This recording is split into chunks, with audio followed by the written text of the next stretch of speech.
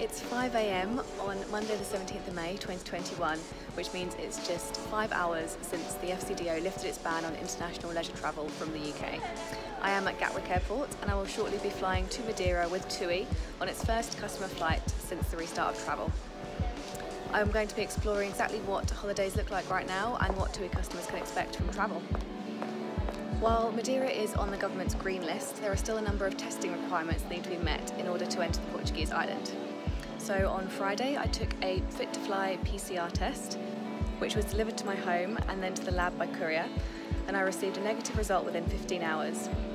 I have a test to return lateral flow kit packed in my luggage to take in Madeira before my journey home, and I will also need to take a second PCR test within two days of my return to the UK.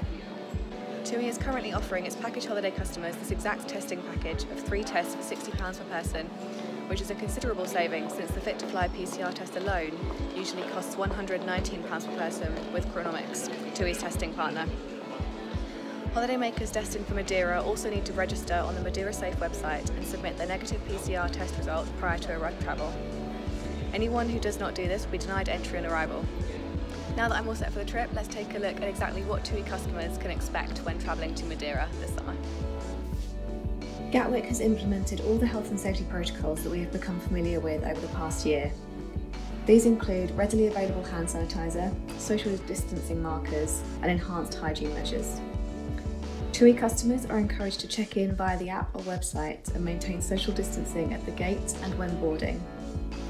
Once on board with TUI, holidaymakers are asked to wear their mask for the duration of the flight while the aircraft is regularly disinfected and all food and drink purchases are made by contactless payment.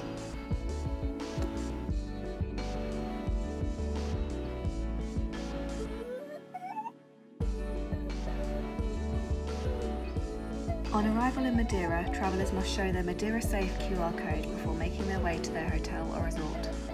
I'm staying at Riu Palace Madeira, which is one of TUI's all-inclusive hotels on the Portuguese island.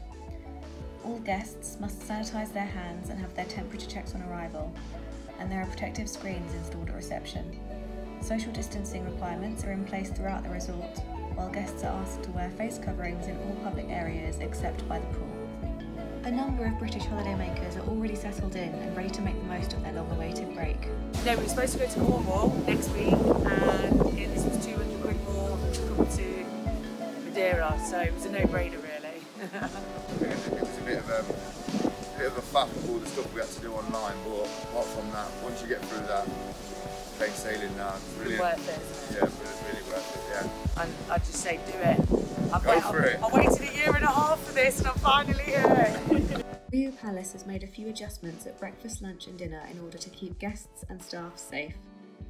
These include longer dining times, a one way system, and a new protocol by which guests do not share tongs at the buffet. So today we have 110 English clients arriving, and next week we will have the double. So we hope we're going to have a very nice summer. So there we have it. A TUI trip to Madeira might look slightly different to how it did pre pandemic, but Brits' passion for all inclusive holidays remains strong. Let's hope that with all the precautions that have been put in place, international leisure travel this time is here to stay.